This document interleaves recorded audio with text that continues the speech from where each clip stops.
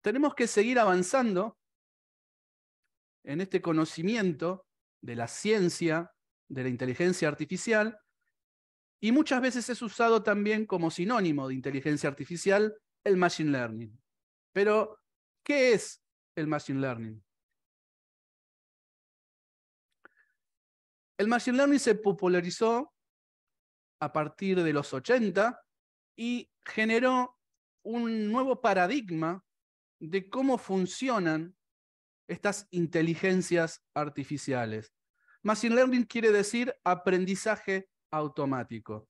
Hasta antes de este concepto y de esta idea, lo que teníamos era la programación tradicional, la programación que acabamos de ver cuando hablamos de inteligencia artificial. Nosotros tenemos unos datos y un programa. Cuando pasamos los datos por ese programa a través de la programación tradicional, obteníamos un resultado. En cambio, en el concepto de Machine Learning, el paradigma de trabajo se modifica un poco. ¿Por qué? Porque lo que se trata de hacer es que la máquina aprenda en forma automática qué es lo que tiene que hacer para resolver un problema. ¿Y cómo se hace eso? Se le dan los datos y el resultado esperado.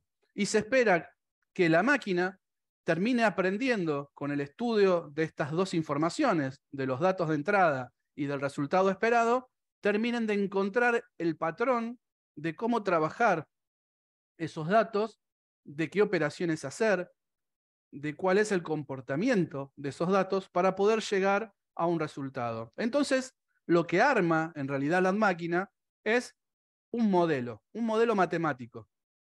Un modelo matemático que responde ¿sí? de una manera para la cual no fue programado específicamente, sino que aprendió a través del estudio de todos los datos cómo llegar a ese modelo. Y una vez que obtenemos ese modelo, ese modelo es el que usamos en los distintos proyectos, al que lo sometemos y le aplicamos algunos datos y después nos va a dar alguna respuesta o alguna salida esperada.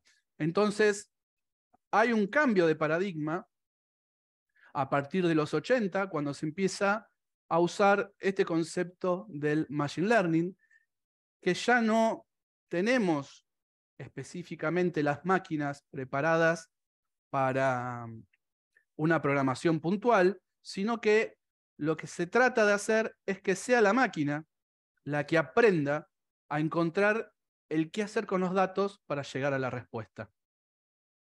Es decir, nosotros partimos de un estadio A y queremos llegar a un estadio B. ¿Qué es esto de A y B?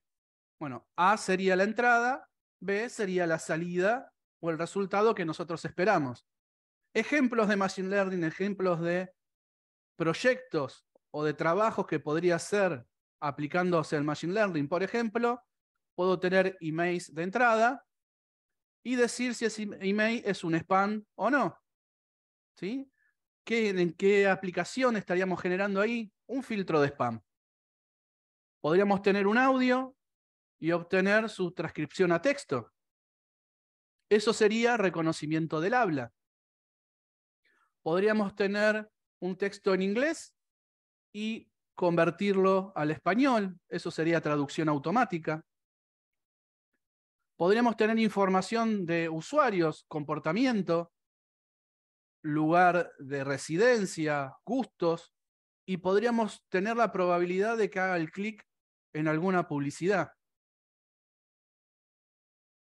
O bien podríamos tener un conjunto de imágenes, cámaras que vayan viendo una ruta y tener un radar incorporado y con toda esa información poder detectar qué posición de autos tengo cerca del vehículo que yo estoy manejando o generar una conducción autónoma.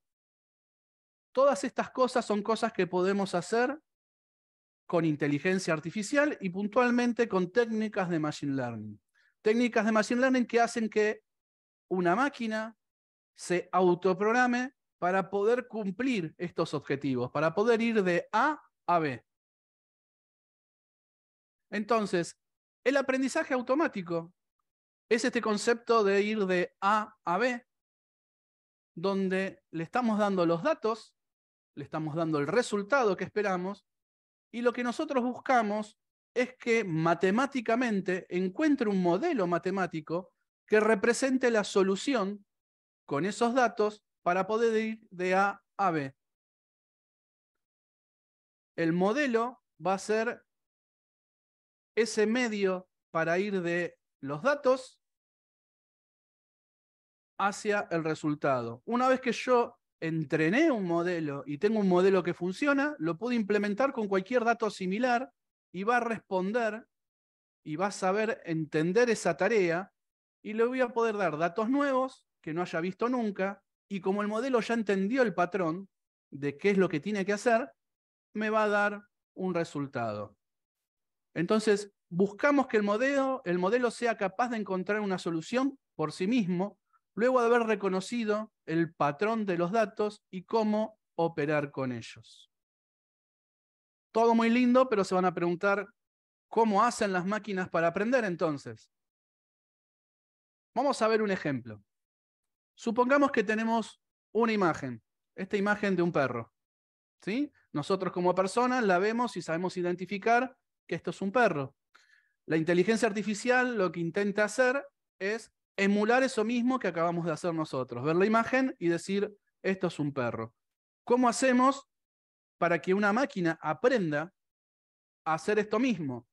Bueno, acabamos de decir que le tenemos que dar el dato y la respuesta. En el caso de un proyecto de Machine Learning que va a ser por aprendizaje reforzado, por aprendizaje supervisado, perdón, nosotros le vamos a dar una entrada, que va a ser la imagen, y le vamos a dar una etiqueta, la respuesta, que va a ser perro. Todo esto va a ser la información de los datos de entrenamiento. ¿sí?